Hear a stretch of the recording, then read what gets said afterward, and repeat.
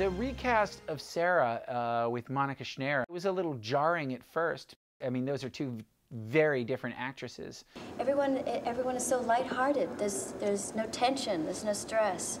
You come here, you do your work, and you go home. It's been wonderful. We had a messy breakup, and I think I want. I'm pretty sure I wanted her back. Everybody wanted her back. I think she was like, and so we put Monika. I love Monika. I think it was great because I couldn't, at that point, put somebody who looked like Deborah and like pretend it wasn't Deborah because that to me was just ridiculous. You know, to put oh, here's a look-alike. So I was like, I'm going to pick somebody who looks totally different. it was totally different type to play exactly the same character in the same dress, and just bring her in and just that was a kind of fuck you to to the world as an audience. I was like, can I get away with this?